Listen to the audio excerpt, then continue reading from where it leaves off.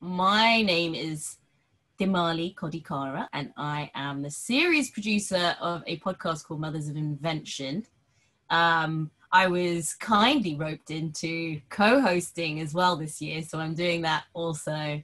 Um, but we're a fe- we're a podcast on feminist solutions to the climate crisis. So you know, again, cash saving the planet as we do. Uh, but you know, we focus on women and girls, non-binary folks, because um, we find ourselves on the front lines of the climate crisis. Us before everybody else is um, is definitely the the predicament at hand, and that applies to anyone who is that really applies to anyone who is um, you know uh, in a marginalized is marginalized considered marginalized in society so um, you know we're working to create a platform for those folks to share the solutions that they're working on because who better to know how to fix these things than the people who are literally standing on the lines of of of these troubles. And there is definitely something for everybody there. So that's that's what i'm doing. That was nice. Uh well hi everyone my name is Kristy Drutman and I'm the host of my show called Brown Girl Green, which is also a podcast and a media series that is centered around diversity and inclusion in the environmental movement, as well as creative solutions to the climate crisis. And it mainly focuses around my journey as a Filipina American uh, environmentalist and environmental advocate.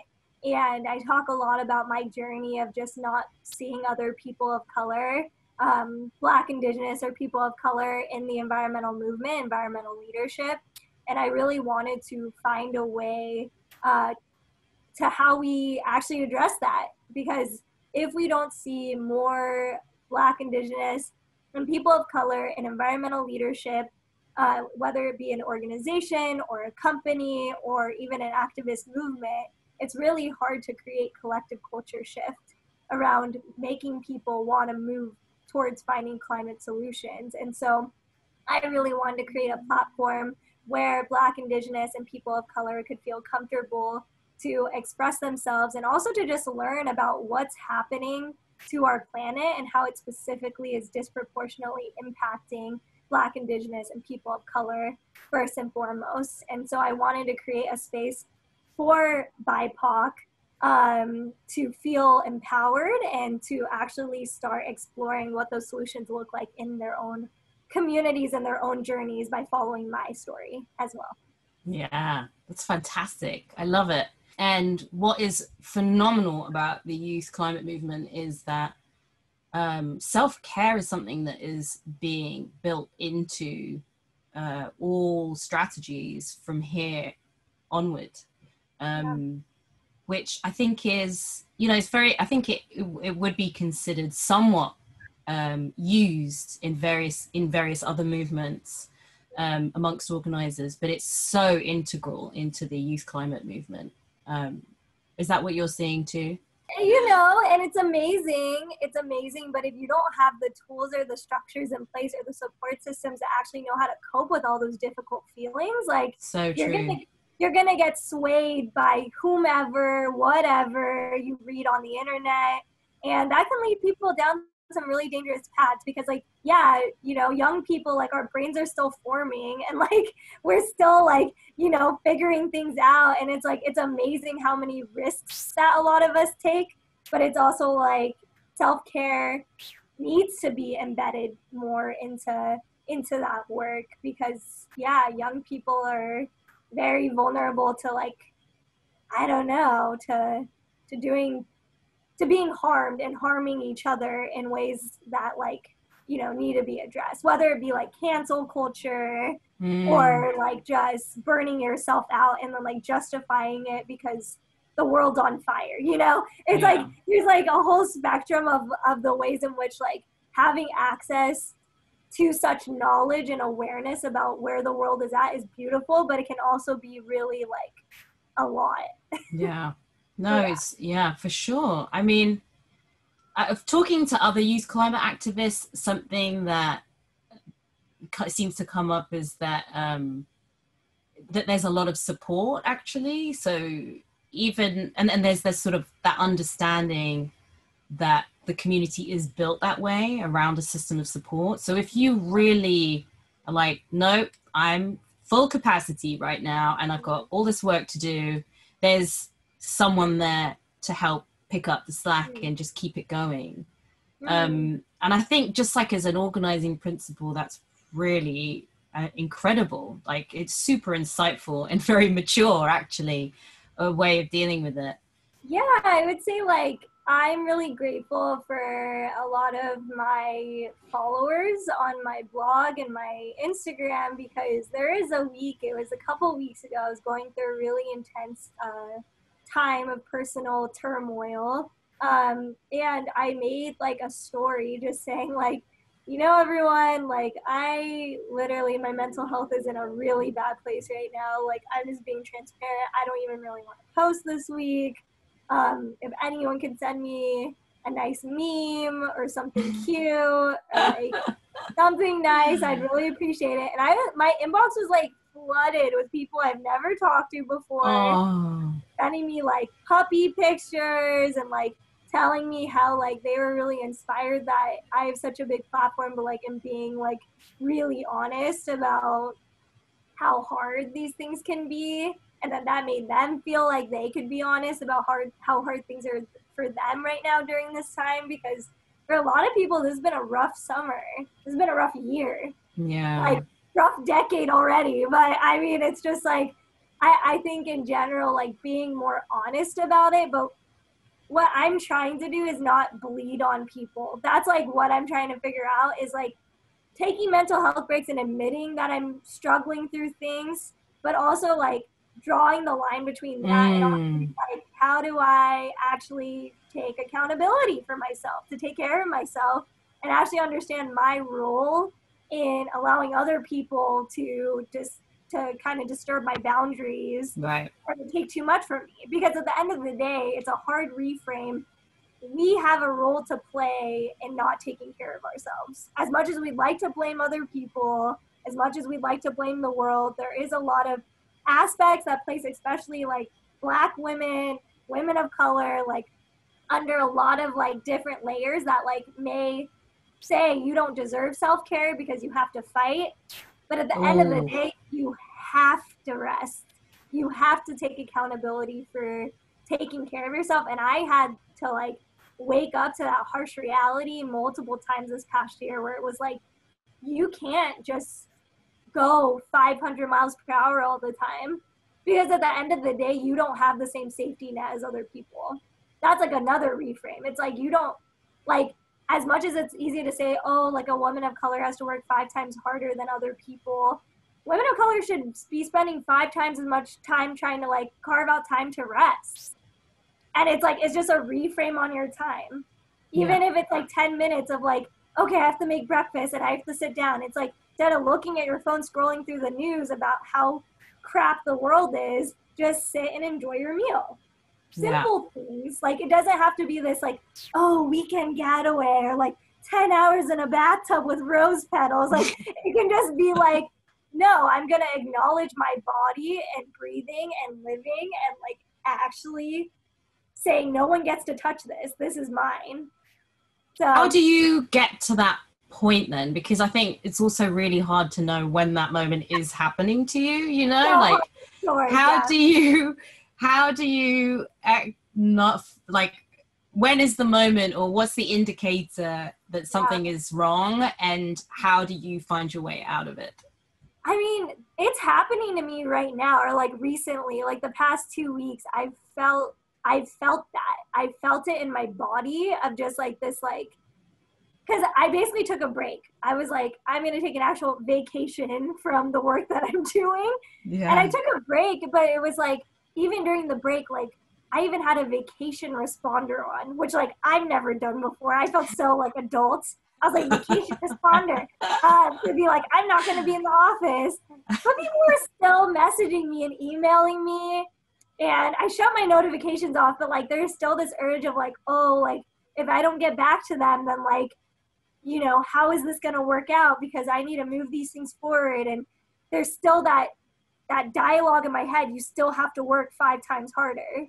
Like there's yeah. still that there, and it's very hard to like shut that off when you're you're still for me at the beginning of my career and trying to build things for myself. Like it's just hard. And I think what I what I recognize is I felt it in my body of like I feel like people are taking things away or like I feel like I'm giving my power away to other people because I'm at the ratio of time I'm giving to you know other organizations or companies or collaborators is disproportionate to how much time I'm actually giving to myself. So I did like a time audit of my days. That's great. And I was like, maybe this is why I'm feeling so bad because I haven't done that. Wow.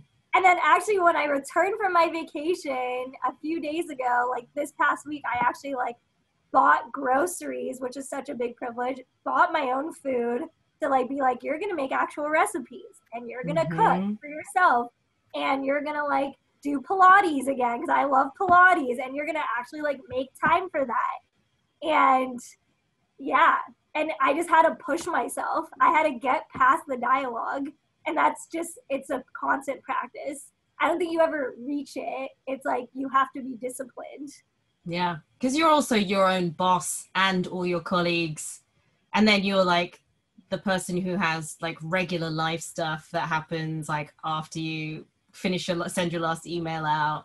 And then you're somebody's daughter and you maybe you're somebody's partner and you're like oh i have other responsibilities other than these work things like when does it end? Because you know you oh, saying you know you feel very adult putting on a vacation responder but i'm like it's actually pretty adult to like keep working through the vacation is like the real misery of it you know? Oh, and i feel like it's actually now very progressive and and righteous and radical to be like actually no like i've got to stop. Like this is i'm turning this on and you're not going to be able to get hold of me between these hours or these days of the week or for this length of time because I'm going to be, yeah, really going balls out with my self care right now, you know? So, I mean, but then, like, it's aside from work, we also have this whole issue of climate fatigue, like learning such horrific things yeah. constantly having to process them ourselves to make it more digestible for other people to be able to um to for other people to be able to sort of uh hold hold within themselves and yeah. do something with. And that's um an enormous amount of responsibility i realize now yeah i mean sometimes it just feels really hopeless. It can really feel hopeless. Like and i think i sit with the hopelessness of like yeah what if none of this what if none of this is going to like move the needle you know? And you have to sit with that reality. I like i feel like not i'm like the opposite. Like i feel like you have to embrace like the shame and like the pain and the reality of a situation to actually feel more at ease about it. Because you recognize what is in your control and what is not in your control. And i think mm. that's like where your power is and that's how you maintain sanity.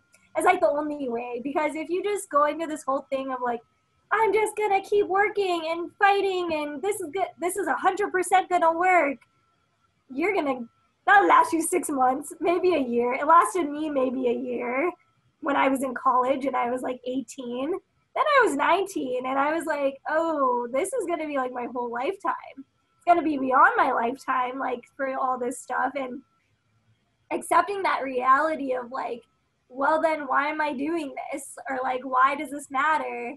And the only way I've been able to cope with it is like accepting the reality of what I can actually do tangibly, given the tools and the resources I have, and to make sure that I know that I'm not alone and that there's other people that are doing this work and to not have all the weight on my shoulders, but to figure out how to collaborate with people and build with other people. I think once I started building more things with other people, other organizations around the world, other activists, I mean, that just totally opened up a space for me to be like, okay, like we're all in it, understanding it, and I have more people I can talk to and process with. And I think having other people to just process with has made such a huge difference.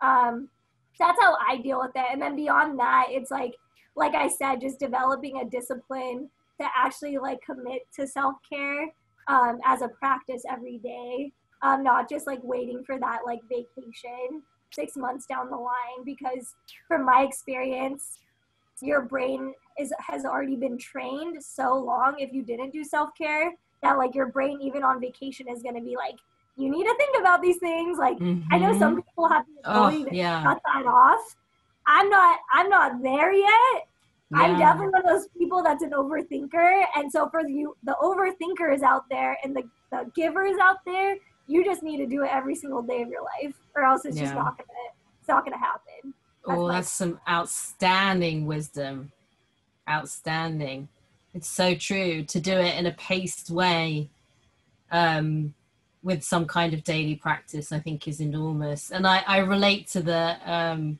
you know, cooking and it's because I'm, I'm like a terrible cook. I, actually, I'm not a terrible cook, but I'm just terrible at like cooking for myself. Like I just get lazy about it and, you know, it's whatever's there. But actually, um, I find that the, act, the act of, uh, you know, chopping or sauteing or baking is it, it does feel like self-care how have you navigated uh, while doing work in the environment environmental movement like um like not feeling guilty for setting boundaries around like your time and your energy. How have you actively practiced that um when other people you know expect a lot out of you or have expectations because you've reached this certain position of like the work that you're doing? How do you actually actively practice that in your work? Yeah it's a really good question and with full transparency i've definitely not figured that out. Definitely not. But what i will say yeah it's really hard. It's really hard. And also it's changing constantly i find. Like the markers keep changing. And a lot of those markers are for the better because it's lots more people are getting involved. Lots more people are finding awareness around these issues. And that is definitely um, easing the pressure for sure. Um, but the other thing i would say is um, working in with a community that um, understands and respects the issues at hand um, the team that work on Mothers of Invention is almost exclusively, uh, is largely women of color. Um, there are, there's only one one man that works on the show on a regular basis. Um, so working with women is fantastic because we can we actually can discuss issues of like you know mental health and uh, you know exhaustion, all those things. And we're all working extremely hard. Everybody works on the show works extremely hard. Um, so certainly in terms of mental health, but also in terms of um, you know in, working on the show itself working on a show that's uh, rooted in feminist principles we can afford to talk about things like love and hope and care and compassion, you know, and those filters aren't often used when people talk about climate or the environment you know it's, it's the, the urgency is there and i it, it should be there but it is um to be able to acknowledge the vulnerability the sensitivity is so imperative. And i think um being able to do that with um largely women largely women of color really really helps. It really has helped me so much. Like we when think when i'm like not feeling right it just happened recently like i have not been feeling very well. Sent an email to the team and they're like we have got you. We've got you. Like don't push yourself. Like you need this and this and this and this picked up. No problem. It's done. It's done. Don't think about it. Concentrate on yourself you know. And not that is such an enormous privilege. Enormous. Because most people don't get to have that in their work environment. I'm really lucky. But um how are there any sort of situations that you feel like you've experienced difficulty expressing your, your need for self-care? Oh yeah. I mean i think it's especially in spaces where like people are have such good intentions like want to do a project with me or love my work or love like what i'm doing and are just like oh i think this idea would be so cool. And the thing is, is like a lot of people have really cool ideas and like I I mean I feel really privileged that so many people have reached out to me with really cool ideas and the thing is I can't do them all. I just can't anymore. Like I don't have the capacity. I think maybe a year or two ago I'm like, wish you hit me up back in like 2018 when I had, you know, not all of this craziness. Um, but now it's like, yeah, like it, it's very hard to say no, especially to things that like, you know, sound really interesting or sound really cool, but I just know I'm not gonna have the capacity to to give my all to it, or it just doesn't align with like what I need. Like if if a thing is like unpaid um, and is also gonna take up a ton of time, and they're asking a lot of labor out of me, I just can't say yes to those things anymore. Mm. Um, which is hard because there's been some opportunities where it's like, oh, I could get really great exposure, but it doesn't align with like what I need to make my work sustainable in the long term. Um, and that's like what I'm invested in. And it's been a thing where like I've also had to figure out, okay, if I am going to do like unpaid work, it has to be for an organization or a cause or a situation where like I feel we're co-creating together. Mm-hmm. Like the labor is not just like on me to like shout out your work. It's like, oh, yeah. we're actually like creating a piece together. Yeah. And I feel like those things have been really important acts of self-care because it's like I'm trying to find things that actually feel in alignment to me rather than being like, I need to just do as much stuff as possible um, without being focused because, like, I don't value my own labor. I don't value my time.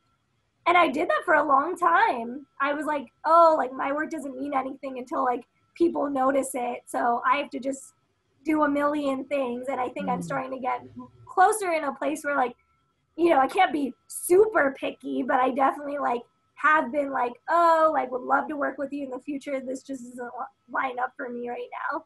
And that's been really powerful because it's like I'm recognizing my worth through my actions.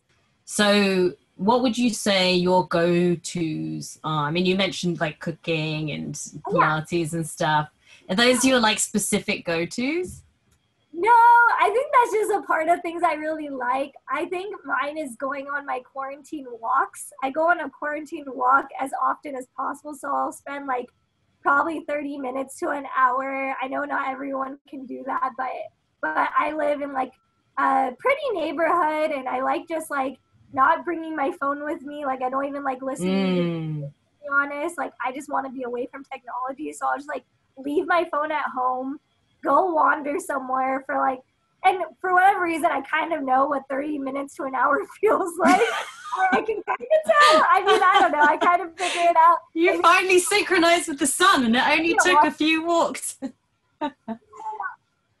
Yeah so i would say like going on a walk has been really important and also just like um there i do like morning journaling um mm those have been like a lot of my go-to's during quarantine for sure. That's great.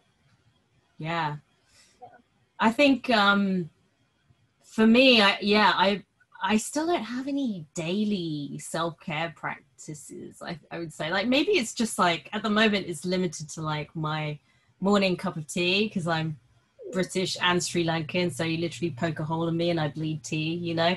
So there is like a there's like a a real comfort thing to that um and it sounds so small but it really does feel so significant in that i don't feel like i've started anything until i've like had that that moment with myself.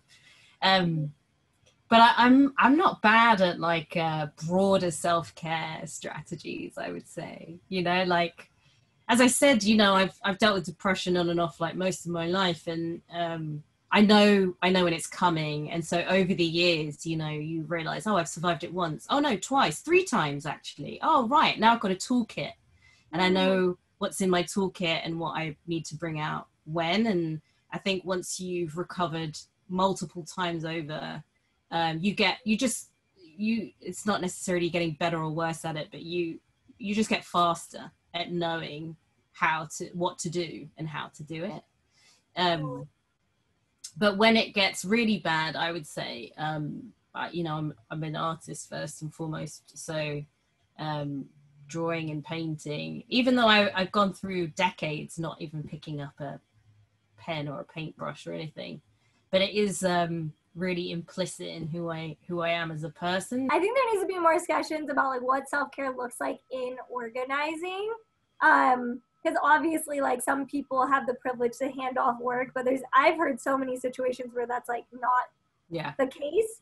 Um so it's like what do you do if like you want to help and you want to do activism and you want to like work work work um and the work i don't know can't be handed off to someone else how do you like deal with like the guilt of that? And i think I just want to start off by saying that I think ultimately it just goes back to knowing what your role is and your gifts are that you bring to the world because I think a lot of times people don't acknowledge the gifts that they have. Um, a lot of people are just like, oh, like, I'll bring these talents, I'll bring these skills, and then I just grind. But then it's like, at the end of the day, like, do you actually acknowledge or affirm yourself for any of that. Um, and especially when like times are tough and then you're like oh i can't hand off this work to someone else you also need to affirm yourself okay like i'm not going to feel guilty that i can't do this right mm-hmm. now i'm just going to be responsible communicate it to people and say okay can someone hand this off? No one takes it then the move the work's just not going to move forward. Right. And guess what? The world's not going to implode if that happens so I'm just wondering if you have a tip about that. It's a good one. It's a good one. I think um, I would agree with that actually. I would agree with that. I think at some point you just have to say, no, I can't do it. Can't do it. can't, you know. And it's like we'll give ourselves that space for physical discomfort or pain you know, we'll do it for for the flu. We'll do it for, you know, all kinds of it, or for a doctor's appointment. We'll do it, but emotional, mental, spiritual exhaustion is a real thing. And again, I think this is why um, I'm very, very lucky to be working around uh, largely women because that is um, something that is recognized you know, and I think there is um, space afforded to that. But I totally agree with you. That is an enormous privilege. Like I've worked in many, many environments where that is absolutely not the case. Um, and I think, yeah, we being able to uh, describe mental health in the same way that we would describe our physical health is is definitely a way to do that in the interim.